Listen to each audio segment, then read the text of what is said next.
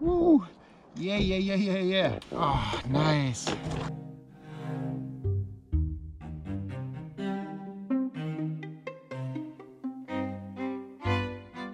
Good morning everybody. In this video I want to take you to a really nice kayak fishing spot a little bit north of Mangawhai. Place is called Langs Beach. A really nice beach for launching kayak. I want to take you along on a little kayak mission today, see what we can catch. So I haven't fished in this area before, it's the first time for me and I arrived here early in the morning uh, during a major fishing time or just before a major fishing time with my new uh, DJI Mavic Mini 3 that I got for filming and I hope I can make some better drone footage with this. I also wanted to try and land and launch this drone from my kayak and see how this works and if I can manage this without losing the drone straight away.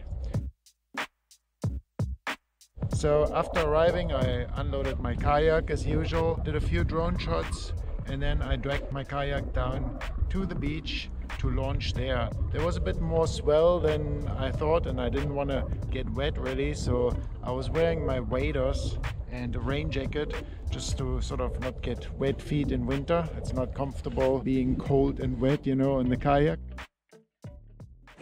Just out in front of me is a little reef, which you can't see because of the sun, but it's right there.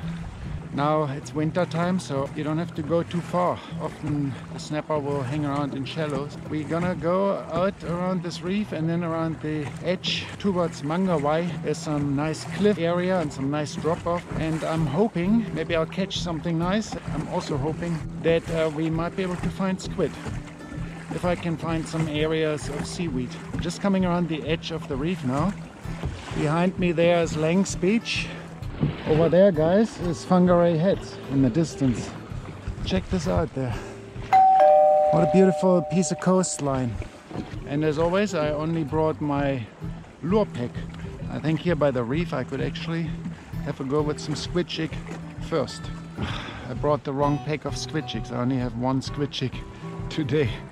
I recently sorted out my squid jigs and I put all my squid jigs in a different container. Now I only got one single squid jig. My squid jig has already caught some seaweed, which is a good indication that it reached the bottom and that there's some seaweed, which squid like. I paddled straight out for maybe 300 meters, 400 meters, paddled into about 15 meter deep water, uh, chucked out my fish finder to see what's going on in there and I hooked into a really nice fish. Alright guys, we're hooked into something while I was playing around with my deeper. It's not a snapper. Oh, we got a John Dory. Woo. And a good one too. Woo. I'm so happy with that. Yay. On my favorite zest genjig. Woo. Yeah, yeah, yeah, yeah, yeah. Oh my god. Oh, nice fish. Oh, that's gonna be a nice dinner. I love it, I. Check out what kind of sound they always make, I. Well guys, normally the rule is to release the first fish for good luck. This Johnny is just too nice to release, even though it was my first fish for today.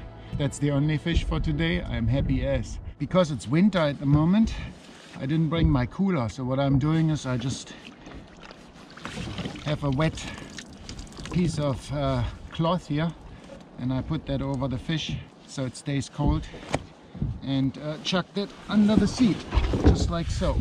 Just now is the bite time as well. Today the bite time has started at about 10 I came out a bit earlier because I wanted to do a few drone shots for you guys to show you the area a little bit and we started off with a nice John Dory I caught it on a zest genjig as you know I really like fishing with those little genjigs the green and yellow. They work really good for me. Yeah that was just at the edge of the weed where the sand starts. That's where John Dory like to hang around. And it shows you that you don't really need a live bait to catch them. They love lures. I caught them in soft baits and they really like those micro jigs as well. So then I paddled along the coastline a little bit, trolling a hard body lure with a big bib on it. It's called Gillies Stump Jumper. And we're just gonna troll that behind the kayak for the next half kilometer to get to this spot.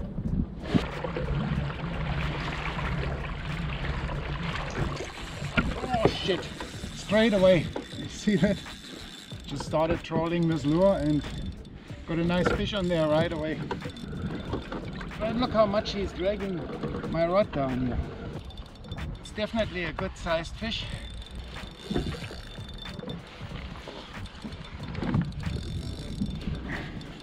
It's a pretty decent sized kahawai for the east coast here. Whoa. Here's a nice kahawai and we're gonna release him. Oh no, check this out. I somehow managed to lose my bib for this lure. Diving bib. When I was landing the kahawai. Oh, now it's gone. My favorite lure. That sucks. I got another very similar lure here. It's made by Berkley, I think. I mean, look at it's almost the same lure, same color and everything except that this is segmented but the gillies a stump jumper works better than this one here maybe because of the rattle I don't know. And those kahawai are feisty almost like the size of those west coast kahawai really good fight but I released this one because we've been catching lots of kahawai recently on the west coast. Then I just paddled around a little bit this bay uh, a little bit to the south and I got a little pet as well. Uh, one of those little seabirds landed next to the kayak and he was checking me out. Wasn't afraid at all came straight to the kayak and had a look what I'm doing there. Well guys this little guy here he's been hanging around my kayak now for probably half an hour or so. He's not scared at all. And I just released a little fish another small goldfish and he's been sticking his head under the water trying to see what's going on there if he can get a piece of it maybe. But cute little guy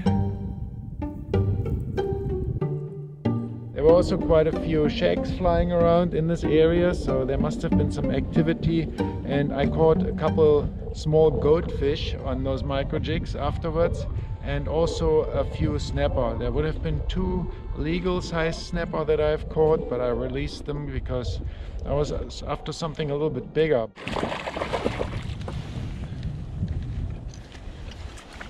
Feisty little kahawai. Again, whoops, ah, he came off. Luckily, I was gonna release him anyway. Second one might still be on as well. But then something weird happened. I hooked into two really big fish while I was trying to turn on the camera really quick to film what's going on. They both came off. Oh yeah, I saw some good signals on the fish finder. Dropped the micro jig on top of them and the fish came off.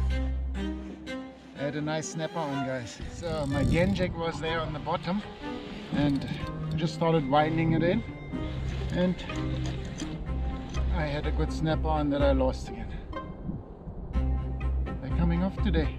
That was really frustrating because I lost two chances of really nice big fish. Next time I'll be sure to land the fish and then turn on the camera or have the camera on loop. So yeah, all in all, a really nice spot for kayak fishing here. The whole area here is a nice playground for fishing.